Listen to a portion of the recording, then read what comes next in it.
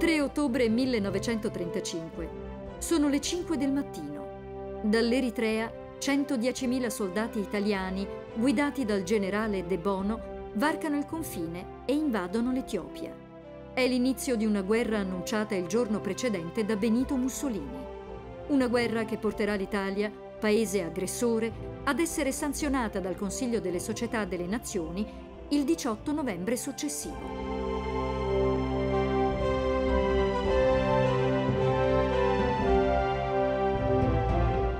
Il fatto nuovo avviene nel 1935, quando Mussolini decide che l'Italia avrebbe dovuto avere un possedimento coloniale degno del proprio prestigio e delle tradizioni imperiali dell'antica Roma.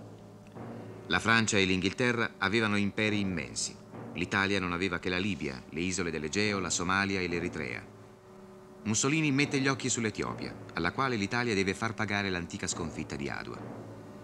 Il pretesto per la conquista gli viene offerto da una serie di incidenti di frontiera ai confini con la Somalia. Mussolini sostiene che l'Etiopia vuole cacciare gli italiani dalla colonia. Pochi giorni dopo, due battaglioni partono per l'Africa orientale, dove il 7 marzo è inviato anche il generale Rodolfo Graziani, cui spetterà il compito di guidare la conquista partendo dalla Somalia. Con rapidità altre divisioni sono imbarcate e attraversano il Mediterraneo. La Società delle Nazioni, di cui fa parte anche l'Etiopia, interviene ma non può fare altro che condannare l'Italia come Stato aggressore.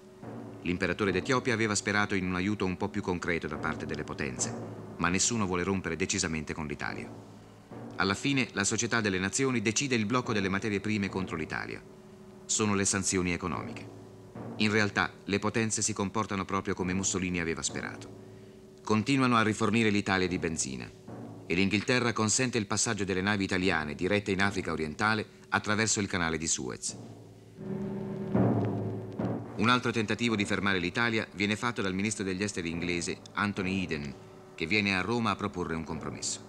È tutto inutile.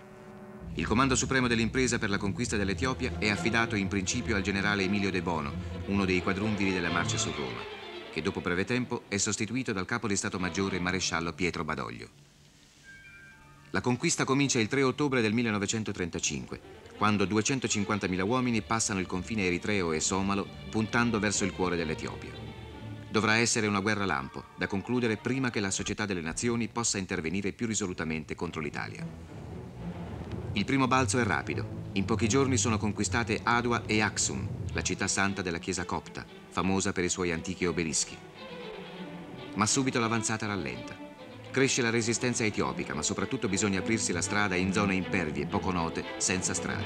Le truppe italiane sono costrette a procedere aprendosi una pista, approntando strade camionabili.